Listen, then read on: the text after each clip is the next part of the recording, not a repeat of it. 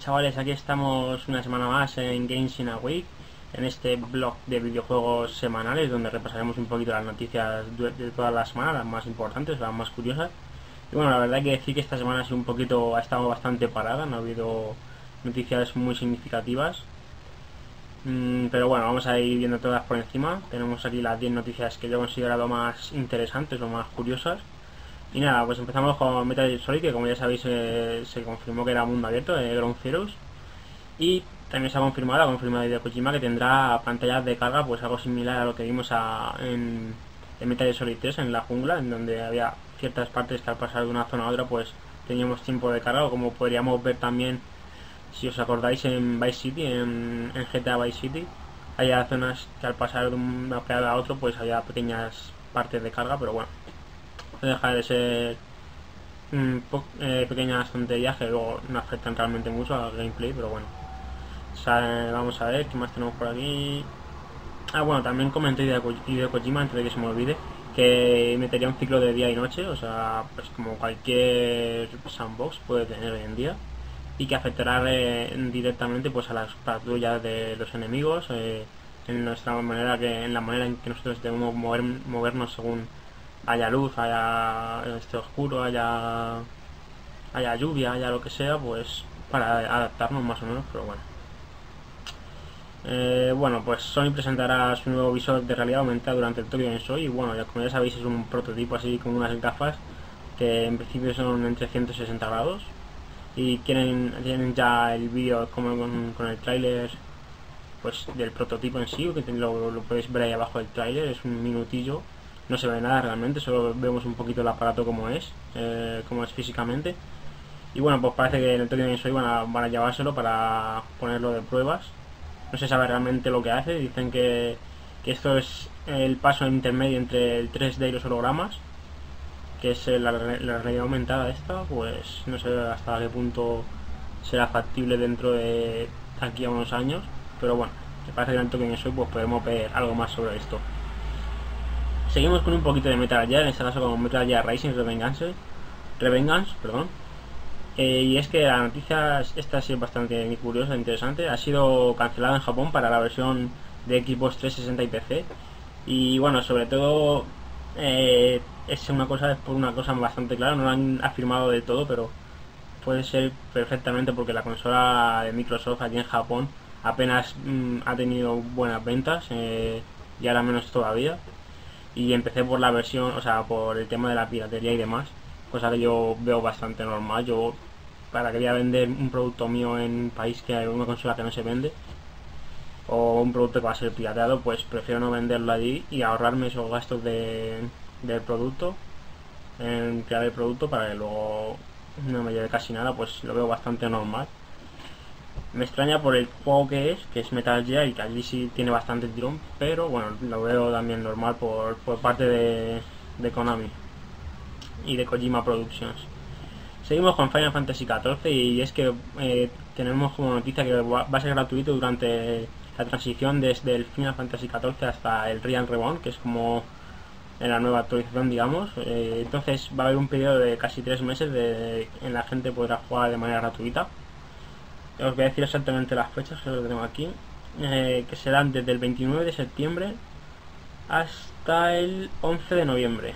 O sea son pues prácticamente dos meses en los que la gente que esté jugando pues podrá pagar podrá estar jugando perdón dos meses sin pagar cuotas mensuales hasta que tengamos la nueva, la nueva actualización del juego. Entonces ya pues eh, volverán las cuotas normales eh, también sabemos que llegará PlayStation 3, lo que no sabemos todavía cómo será el sistema de pago, si tendrá, si no tendrá, supongo que sí tendrá. Es algo parecido al DC Universe Online, supongo. Pero bueno, todavía no es fecha concreta, pero supuestamente debería aparecer en 2013. Y bueno, seguimos con Wii U, que ya por fin se ha desvelado su precio, mm, no oficial en Europa, pero sí fuera de en América y en Japón. Y al cambio serían unos 300 euros el modelo básico y unos, 300, unos 350 euros el modelo premium, perdón.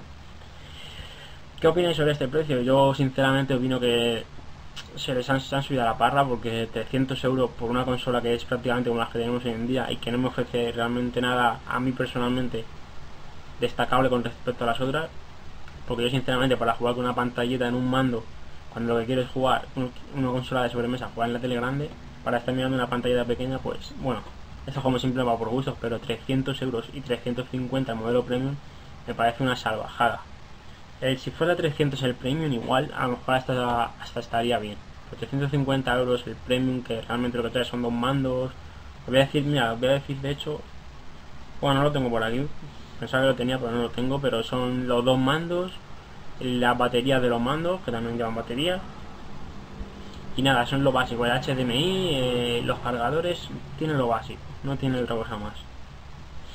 Así que nada, luego también tenemos el, el pack de Zombie U que se puede reservar en Game, por cierto, por 390 euros, casi nada.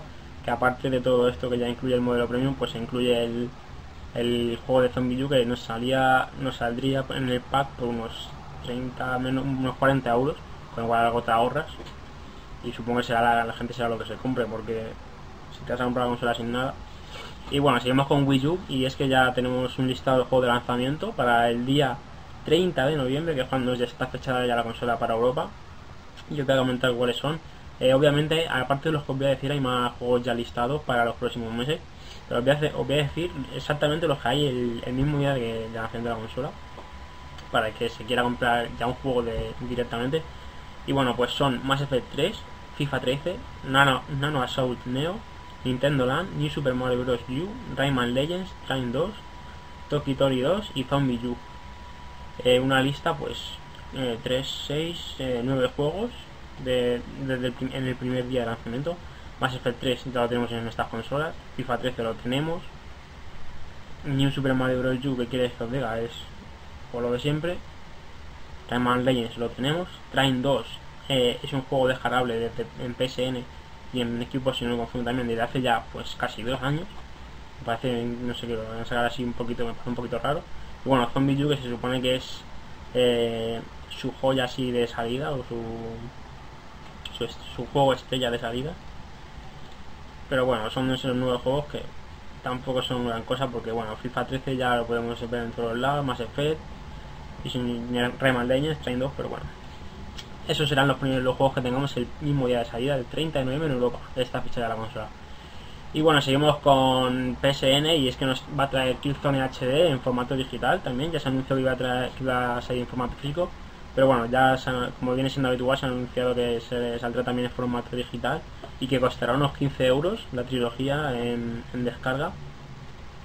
Y que bueno, aparte de los gráficos en HD, pues eh, añadirá a Killzone 1 pues los típicos trofeos y pues nada más, no hay mucho más que contar aparte del 2 y el 3 pues ya los tenemos. El, realmente lo interesante es ver cómo, cómo luce ese primer Killzone en HD que ya en Play 2 lo hacía bastante bien pero bueno pues a ver hasta qué punto puede llegar aquí en Play 3 a ver qué se le puede sacar. Noticias curiosas ahora vamos con FIFA 13 y es que este año no aparecerá el Camp Nou.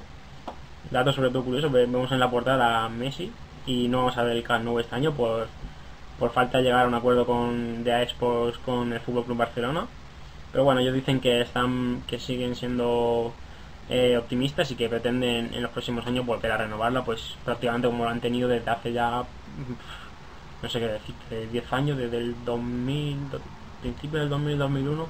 Yo creo que ya tenían las licencias estas. Ha debido pasar cualquier cosa rara, un poquillo rara. Y no han podido renovar, pero bueno, esta gente seguramente se ponga las pilas y el año que viene ya, ya tenga contrato nuevo con el Barça y salga seguramente el Camp O sea que más que nada un dato curioso que este año la gente, los aficionados al, al Fútbol Club Barcelona, pues no van a poder disfrutar de su campo. Y bueno, pues seguimos con Ubisoft y ha saltado, ha dicho una pequeña bombita, ha soltado una pequeña bomba. Y es, que y es que Ubisoft admite que los jueces de PS4 y Xbox 720 obligarán a producir menos juegos AAA. Los juegos AAA, para que no lo sepáis, son los pues son un Assassin's Creed, por ejemplo, hablando de Ubisoft, un FIFA 13, eh, un Charter, son juegos eh, triple o sea, los juegos que se curran realmente las compañías donde tienen todo su peso, de, donde sacan todo, todo, toda la pasta suya.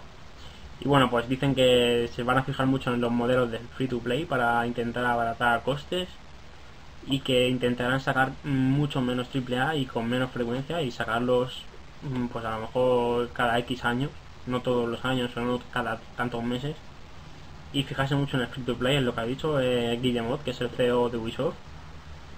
Y pues nada más, es una cosa que dicen que con el tiempo pues cada vez va a costar más y va a costar más.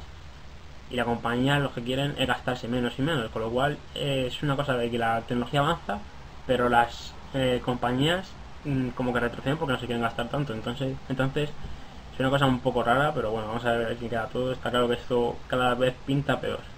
Y bueno, vamos a acabar pues con una otra noticia también curiosa, y es que en Live 13 se sigue mostrando a cuenta gotas y no solo eso, nos han enseñado su primer tráiler, pero al mismo tiempo nos dicen que se retrasa.